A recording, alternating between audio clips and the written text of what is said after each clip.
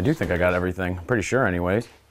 Waiting for Phil. We're gonna be heading out to the Hippie Fest today. I'm gonna be spending a couple days out there, then it's gonna be going straight to work. All right, for the seventh year, we're packing up. We're headed off to the local hippie festival, and Captain Dan is going for his first experience. So this ought to be a good one. Phil, what do you got me into? Well, this is your first year. I'll give you the quick rundown. We got four days, four nights, 30 bands, two coolers full of food, and uh, another two coolers full of beer. And you better behave yourself, or we're going to throw your ass in the fire. Captain Phil's first words of advice. That at this festival, if I have to answer every question that you ask, If I have to explain everything you see here this weekend, your head will blow right off your shoulders. your head will explode.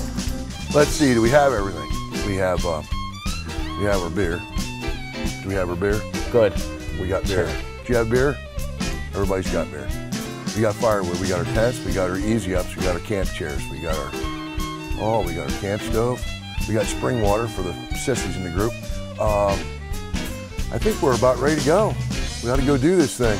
When we set up camp at this festival, there's six or seven of us local guides that all get together for our last big hurrah before the season starts.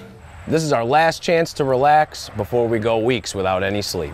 What people don't realize, we have to make all our money in about three months out of the year, so we've really got to be on top of our game.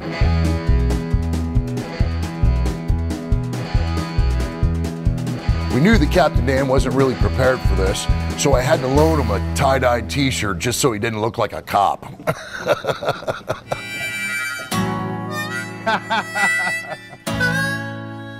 there you go.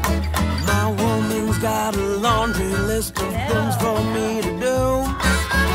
My woman wants them done before the day is through. But come this weekend, well, I'm nowhere to be found. river bound. I'm not asking for something that ain't new. Haven't you got the nose?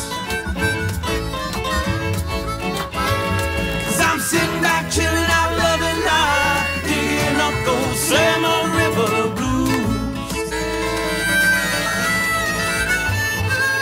Fish on.